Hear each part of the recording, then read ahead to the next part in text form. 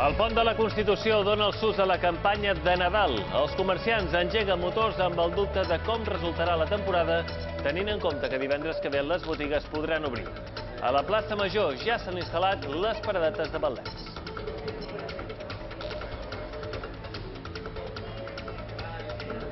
Bon dia. Acabat el mes de novembre, puja l'atur. De fet, les Balears són la comunitat on més augmenta de tot Espanya, un 24% si ho comparem amb el mes anterior. Tancam el mes de novembre amb prop de 64.000 persones a l'atur.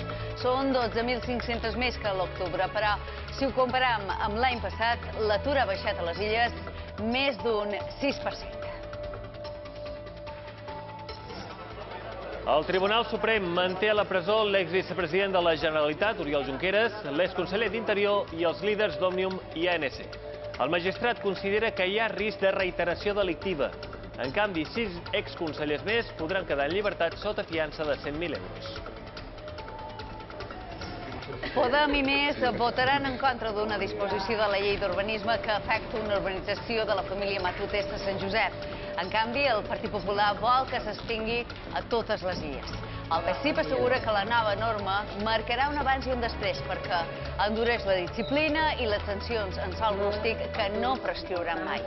El PI diu que la nova llei empitjora la situació i complica el sistema. Entren a robar una casa de Formentera i li calen foc. Els propietaris havien sortit per anar a veure el partit del Formentera contra l'Atlètic de Bilbao. En tornar, es trobaren que l'habitatge estava totalment destrossat.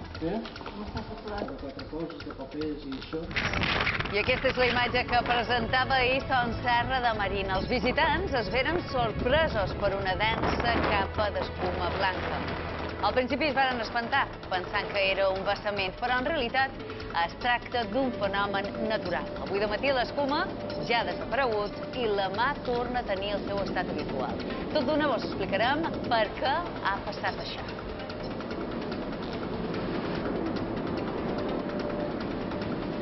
I ara que moltes de cases escriuran ja la Carta dels Reis d'Orient, teniu la possibilitat de participar en una bona causa. Totes aquestes cartes han estat escrites per infants de famílies sense recursos.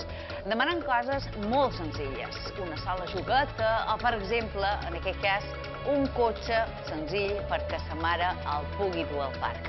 L'associació Somnis Reciclats cerca ara voluntaris que se'n vulguin fer càrrec. L'objectiu, que cap nin quedi sense regal.